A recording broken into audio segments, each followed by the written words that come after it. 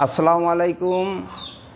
Dear students how are you today we shall learn how to operate narration from direct to indirect তো in the previous class we taught that three task in narration should be mastered by students that is the changing of N P changing of tense and changing of some words or phrase. আমরা শিখেছিলাম যে narration পরিবর্তনে তিনটি কাজ করতে হয়।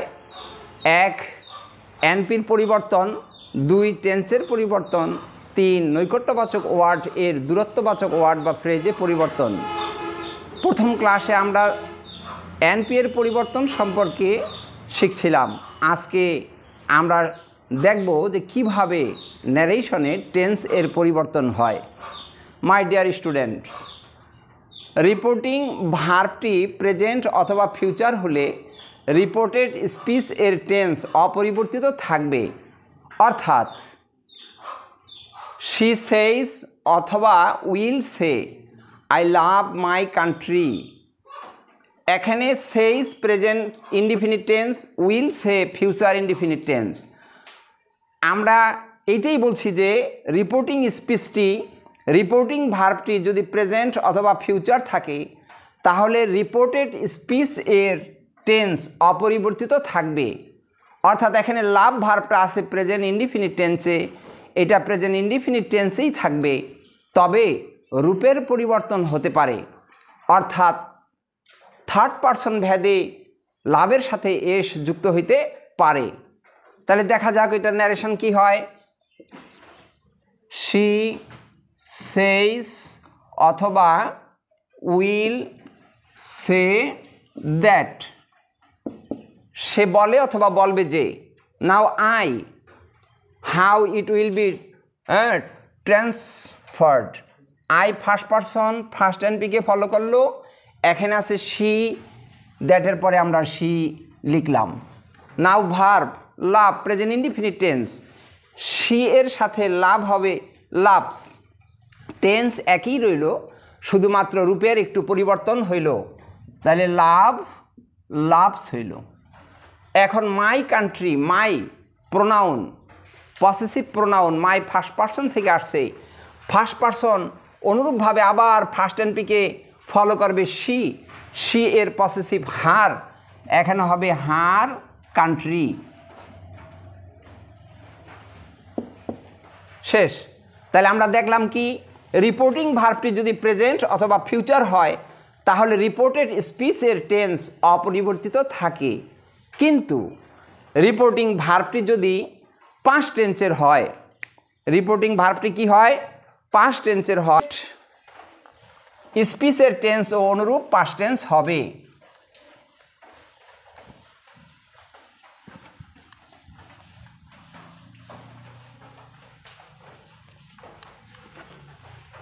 কিন্তু reporting ভার্বটি যদি পাঁচ টেন্সের হয়, তাহলে রিপোর্টেড স্পিচ এর টেন্স ও অনুরূপ পাস্ট টেন্স হবে। অর্থাৎ present indefinite will be changed into past indefinite present continuous will be past continuous present perfect will be past perfect present perfect continuous will be past perfect continuous এইভাবে টেন্সগুলি পরিবর্তিত হবে। যেমন past indefinite tense will be changed into past perfect tense অর্থাৎ, দেখো আমার হাতের দিকে তাকাও পাস্ট ইনডিফিনিট যদি থাকে, তাহলে হবে পাস্ট পারফেক্ট আর যদি থাকে পাস্ট কন্টিনিউয়াস তাহলে হবে পাস্ট পারফেক্ট কন্টিনিউয়াস অর্থাৎ পাস্ট ইনডিফিনিট থাকলে হবে পাস্ট পারফেক্ট পাস্ট পারফেক্ট থাকলে হবে পাস্ট পারফেক্ট কন্টিনিউয়াস আর যদি থাকে এই দুইটা, অর্থাৎ পাস্ট পারফেক্ট ও পাস্ট পারফেক্ট কন্টিনিউয়াস তাহলে ওই টেন্সের কোনো পরিবর্তন হবে না। মাই ডিয়ার স্টুডেন্ট এই পর্যায়ে আমরা মোট আটটা টেন্স শিখলাম। প্রেজেন্ট ইনডিফিনিট থাকলে হবে past indefinite present continuous past continuous present perfect past perfect present perfect continuous past perfect continuous আর এখানে শিখলাম পাস্ট ইনডিফিনিট হবে পাস্ট পারফেক্ট পাস্ট কন্টিনিউয়াস হবে পাস্ট পারফেক্ট কন্টিনিউয়াস তাহলে আটটা টেন্স শিখলাম। এখন বাকি আছে আর চারটা। সেই চারটা হলো ফিউচার টেন্স ফিউচার টেন্স লিখতে গেলেই শ্যাল বা উইল লাগে। ন্যারেশনে শ্যাল বা উইলের পরিবর্তে পাস্ট টেন্সে শুধু উঠ ব্যবহার হবে শুট ব্যবহার হবে না। তাহলে শ্যাল এবং উইল থাকলে উঠ লিখবা। এই উডের পরে ভার্বের আর কোনো পরিবর্তন হবে না। অন্যদিকে ক্যানের পাস্ট টেন্স হবে কুট মেয়ের পাস্ট টেন্স হবে মাইট এইভাবে ক্যান কুট মে মাইট শুড উট এগুলির পরে ভার্বের কোনো পরিবর্তন হবে না। অর্থাৎ ভার্বের বেস ফর্ম বসবে ভার্বের প্রেজেন্ট ফর্ম বসবে। এখন আমরা কিছু উদাহরণ দেব। যে কীভাবে এগুলি সেখানে পরিবর্তিত হয় my dear student example, uh, we want to uh, learn how our tense will be changed.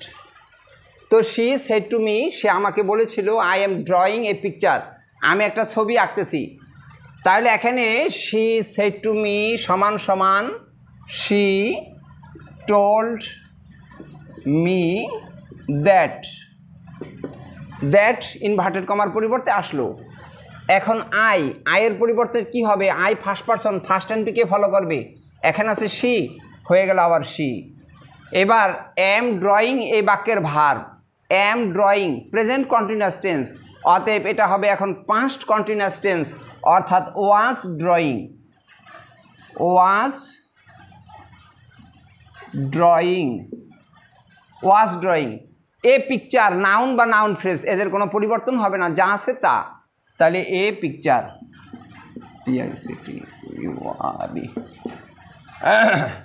দ্বিতীয় বাক্যটায় লেখা আছে শি সেট টু আস তাহলে আমরা দ্যাট পর্যন্ত যা আছে তাই লিখতে পারি।